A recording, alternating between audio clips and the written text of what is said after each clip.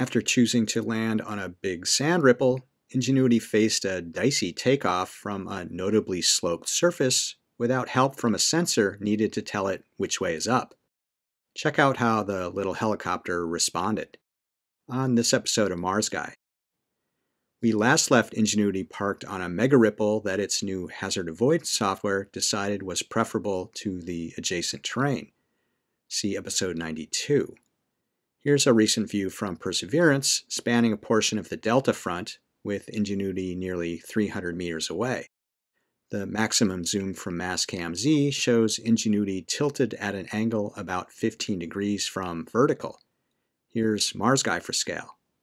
That tilt means the surface slope is greater than the 10 degree limit Ingenuity's landing gear was designed to handle, but clearly it survived.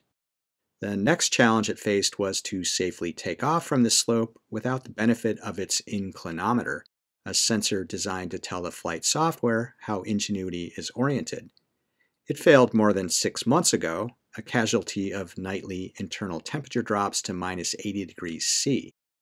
These happened during the overnight shutdowns that were needed to conserve power during the long Martian winter, which Ingenuity was not designed for. Fortunately, its inertial measurement unit, which is used for navigation during flight, can estimate an initial attitude while parked, although with less accuracy than the inclinometer. Flight 39 would be a real test of this backup plan.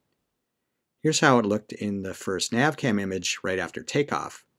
The four divots made by Ingenuity's feet are notably offset from the center of the image, with little piles of sand scooped out on the downslope side.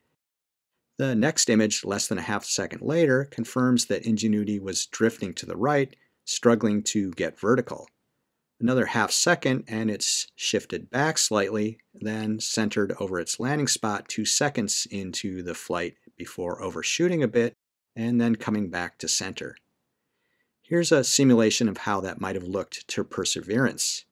Vaguely alarming but Ingenuity recovered nicely from this challenging situation and went on to do a reconnaissance flight over a layer of rocks known as the Bacon Strip.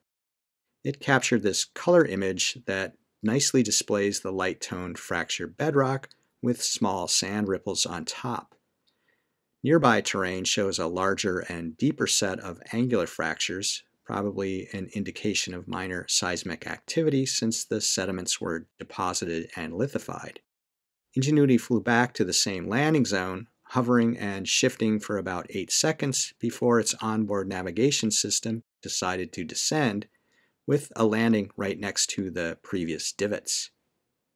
Just over a week later, Ingenuity made the 40th flight of its planned five flight technology demonstration, heading off 178 meters to the northwest. Only 12 images have been downlinked so far, but they show Ingenuity deciding to land between two small ripples rather than on one. Maybe it learned from its previous brush with death. Just visible through the late afternoon sunburst from the dusty lens, the color image shows the same piece of the bacon strip that Perseverance had sampled months before.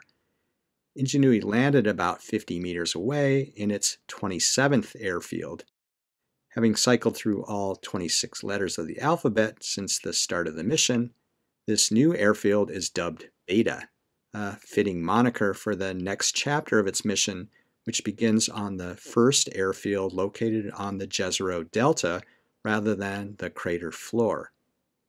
Pushing limits indeed.